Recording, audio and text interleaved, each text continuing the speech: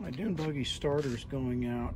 When I hit the key, I just hear a clicking sound. So I think I'm gonna have to get under here and replace it. You can see it right in here on the driver's side of the transaxle.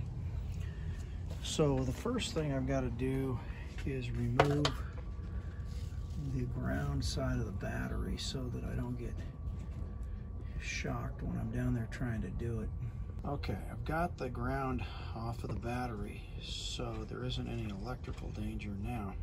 So I've got to disconnect electrical from here and here and then you can see one of the mounting bolts has some grounding wires on it and then there's another mounting bolt that's up there and I've got to take those out.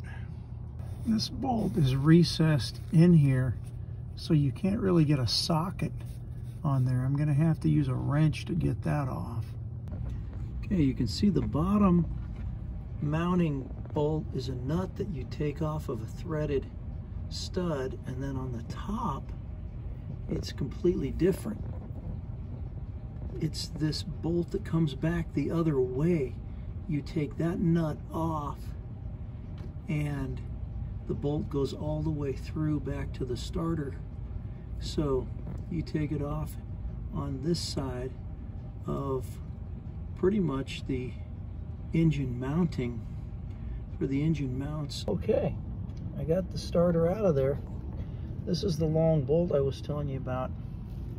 And now I'm ready to take it back into the parts store and match it up. This is the new starter. You can see that the motor portion is quite a bit smaller than the old one. So I'm going to have to check to make sure this still works, but uh, everything else looked like it was the right size. So I'm going to give it a try. I slid the starter into place and I slid that long bolt through so you can see the other end of it over there. Now I'm going to try to get the washer and the nut on there to hold it in place. I got the washer and nut on that shaft, on that threaded shaft, so I'm ready to do the bottom bolt now. You can see where the threaded stud sticks out for the other one. So it just needs a washer and a nut to secure it. I have the negative battery cable and this ground wire attached to this stud and then the nut tightened up on it.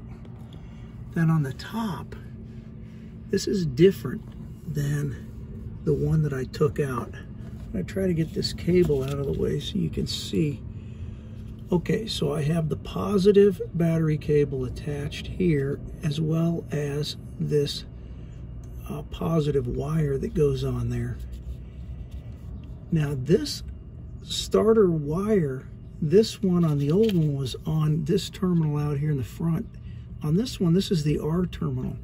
This has to go on the S terminal and it's around the back.